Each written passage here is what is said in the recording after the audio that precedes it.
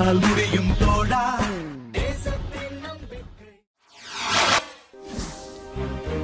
ஆம்பூர் அருகே மிட்டாலம் மேல்மிட்டாலம் பந்தேரப்பள்ளி பகுதிகளில் காட்டு யானைகள் அட்டகாசம். பயிர்களை சேதப்படுத்தி வரும் பதினைந்துக்கும் மேற்பட்ட யானைகள் கூட்டம். விவசாயிகள் மற்றும் பொதுமக்கள் வேதனை. திருப்பத்தூர் மாவட்டம் மாம்பூர் அருகே கடந்த மூன்று நாட்களாக வனப்பகுதியை ஒட்டியுள்ள விவசாய நிலங்களில் காட்டு யானைகள் கூட்டம் சுற்றி திரிந்து வருகிறது. கடந்த இரண்டு நாட்களாக மாச்சம்பட்டு சின்னவரிக்கமாக்கிய பகுதிகளில் சுற்றி திரிந்து சுமார் ஏழு ஏக்கர் பரப்பளவு கொண்ட பயிர்களை நாசம் செய்தது. வனத்துறையினர் தொடர்ந்து விரட்டும் பணியில் ஈடுபட்டு வந்தபோது நேற்று மாலை முதல் ஆந்திர வனப்பகுதியை ஒட்டியுள்ள மிட்டாலம் மேல் மிட்டாலம் வைரப்பள்ளி ஆகிய பகுதிகளில் மேலும் எட்டுக்கும் மேற்பட்ட யானைகள் கூட்டமாக சேர்ந்து தற்போது பதினைந்துக்கும் மேற்பட்ட யானைகள் வனப்பகுதியை ஒட்டியுள்ள பலராமன் என்பவருடைய விவசாய நிலத்தில் போடப்பட்டிருந்த குடிசையை சேதப்படுத்தியுள்ளது. மேலும் அப்பகுதியில் உள்ள நெற்பயிர்களையும் துவரை போன்ற பயிர்களையும் சேதப்படுத்தியுள்ளது.